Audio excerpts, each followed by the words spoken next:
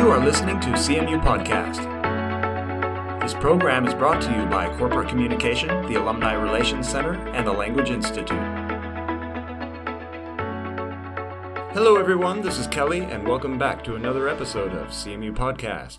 And today, the news is CMU Healthcare Center and CMU Sports and Health Center ready to open soon. From beautiful sceneries that are also suitable for exercise to new and improved sports facilities that meet the needs of students and staff to stay fit and healthy, CMU has always been active in promoting good health. To keep everyone physically fit, CMU has built a new facility located close to the main stadium, the CMU Sports and Health Center, that will help promote sports and good health. The three story multi purpose facility offers grounds for indoor sports and martial arts, and it can also serve as a training location for workshops for students and staff on exercises, health, nutrition, and athletic development. There will also be shops selling food, beverages, and sporting equipment, as well as meeting rooms.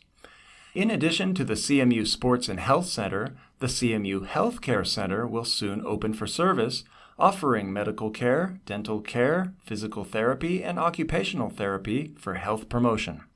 There will also be a pharmacy, lecture rooms for health science students, and the CMU Student Union office.